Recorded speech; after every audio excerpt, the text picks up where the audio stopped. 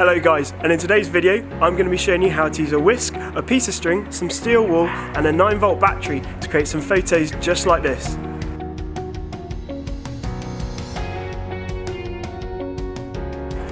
I've used steel wool a few times now to get some pretty epic photos, so I'm hoping tonight we can do just the same. One thing to check before you go out and use this technique though is to make sure that it's rained a few times before you go. If you do it on ground that's too dry, sometimes the sparks from the steel wool can set fire to the leaves and we don't want that, don't want any forest fires. But anyway, let's go ahead and show you how to set up. Firstly, I use extra fine steel wool, that's 000 grade. Next, I break it up using my hands so that the surface area increases.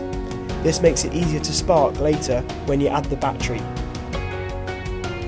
Next, I grab my whisk and on the end of the whisk I've attached a piece of string so I can spin it. I then stuff the steel wool into the end of the whisk and then grab my 9 volt battery. Using the terminals of the battery I rub it against the steel wool and it begins to spark.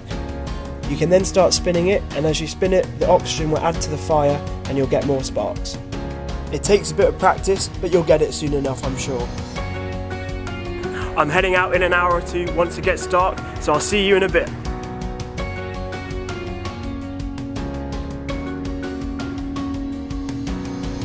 The first thing to do is set up your camera. I put my camera on a tripod and set it to f5.6 aperture. I then change the shutter speed to 10 seconds and I put the ISO to 200. You can then play around with this later on, but this is a good starting point anyway.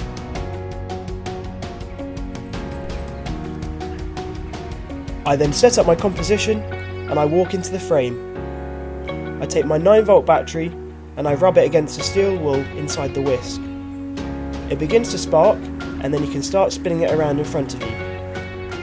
There are various techniques you can do, but this is the simplest to start with. As you can see, the sparks don't last long, but make sure that all of the sparks on the floor have died out so that they don't set fire to anything. It's then time to check the photos. And here's the result. It looks great. There are various techniques you can do as well. This photo, for example, was taken using the same technique, but spinning on the spot as well at the same time. It also looks good in portrait, with the moon in as well.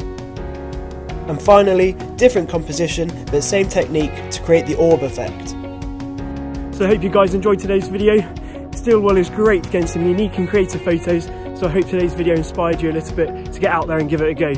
If you enjoyed this video, subscribe to my channel and give this video a thumbs up. Thanks for watching.